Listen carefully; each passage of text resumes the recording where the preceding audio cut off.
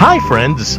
I want to share with you the Vantage International Business Program. Here's how to join. Option 1 Be a silver member by getting a silver package worth 2,999 pesos.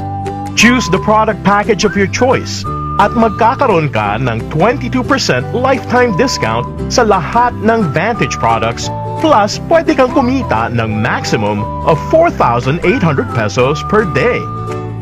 Option 2. Be a gold member by getting a gold package worth 7,999 pesos and choose the product package of your choice at magkakaroon ka ng 25% lifetime discount sa lahat ng Vantage products at pwede kang kumita ng maximum of 15,000 pesos per day.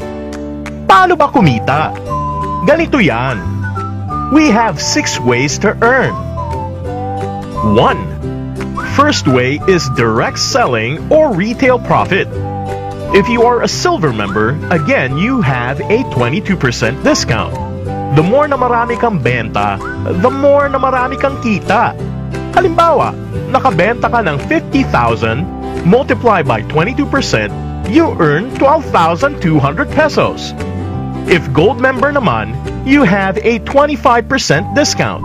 Kung nakabenta ka ng 50,000, multiply by 25%, you earn 12,500 pesos.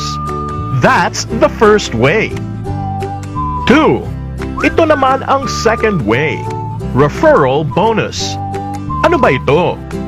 Ang referral bonus ay madali lang. Halimbawa, you shared to a friend the Vantage International business at nagustuhan niya.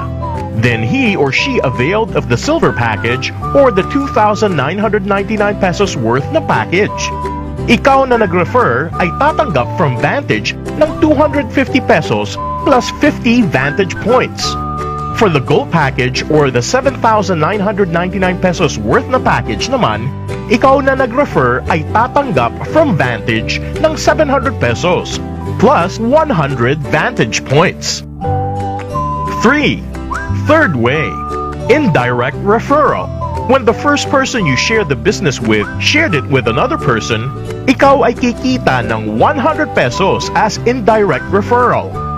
Lumalabas na second level mo siya